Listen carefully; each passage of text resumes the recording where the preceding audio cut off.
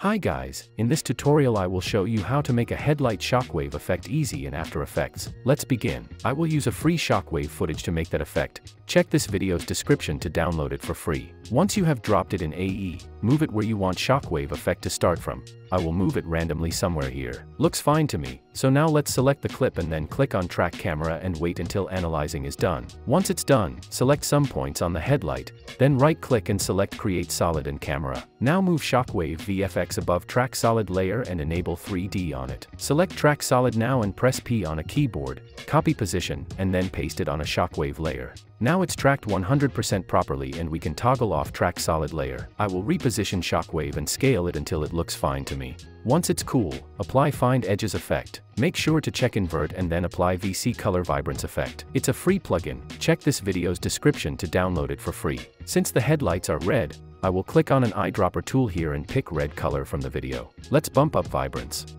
Now decrease preserve luminance. Let's bump up gamma and then decrease the brightness. Note, I change the settings randomly, do not copy my settings, just play around with the effect until it will look cool to you. And finally let's apply a twirl effect. I will change angle to negative 120 and then we can check the effect.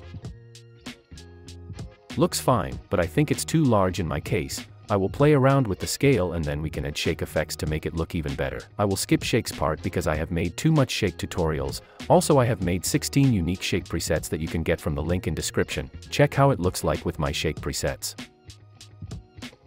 Hope this video was helpful, thanks for watching and like the video please.